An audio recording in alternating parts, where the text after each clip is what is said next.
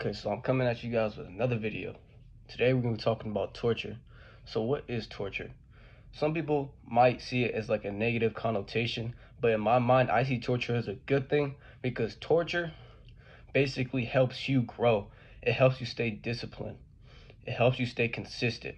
Torturing yourself, I mean in a positive way.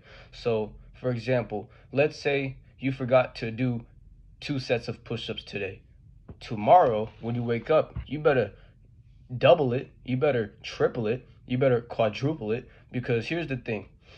That's going to be telling your mind, okay, I need to stay focused. I can't let this happen again. So what's going to happen next time you do the sets the set of push-ups is that your your mind is going to be like I'm going to do it today. I'm not going to do tomorrow because guess what? I'm going to have to double those sets. And that's that's all it is really that's all it is. Torturing yourself means disciplining yourself. That's how you learn from your mistakes. So, for example, and I'm gonna give you guys another example. So let's say you're gonna run about three miles today, and you didn't run three miles today. You actually slept in.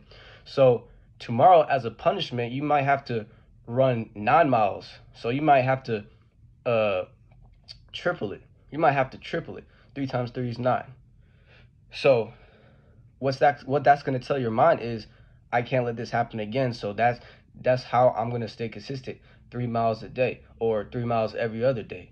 You know what I mean? Torturing yourself is how you build that discipline, is how you build that basically basically that um realization that you cannot make mistakes from now until the future. And just recently, yesterday, I forgot to upload a video. So today what I'm going to do is I'm going to upload two videos today because I forgot to upload yesterday. I have to torture myself in a good way, in a positive way, so I can learn from my mistakes. So that's what I'm going to do. After this video, I'm going to upload another video. And the last reason why you need to torture yourself is because it basically gets you into that mindset of not letting it happen again, and it makes you a better person in the future. So if you want to become a better person in the future, that's how you're going to do it people think that you build discipline by uh, breaking a habit for 30 days. Nothing comes to you in 30 days. That takes months. That takes years. It takes, it might take generations in the making. You have to understand that, let's say a crack, a crack addict, right? A crack addict wants to get off crack. They're not going to get off crack in 30 days because everybody says 30 days is what makes a habit and what breaks a habit. That's not true. It might take you two years to break that crack addiction. It might take you five years to break that crack addiction. It really depends on the person and how much crack they consume on the daily.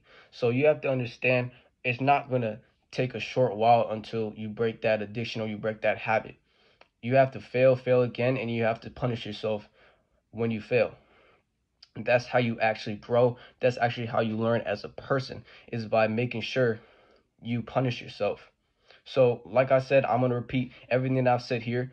First i want you to to make sure to note that nothing comes in the short term. Everything comes in the long term. So if you're battling with an addiction or you forget to do something then you're going to have to punish yourself by doing more tasks or or or um you know what I mean? You get what I mean? So that's what I want you guys to do. Torture yourself in a good way. Don't do it in a bad way. If you're torturing yourself and it feels like you're hurting afterwards, then you might need to take it a little bit easier and actually maybe, for example, you do two sets of push ups, right? You do two sets of push ups and you want to do another two sets, then you might just want to do three sets because your body might not be feeling like doing four sets. So that's what I wanted to say. Hope you guys take it easy.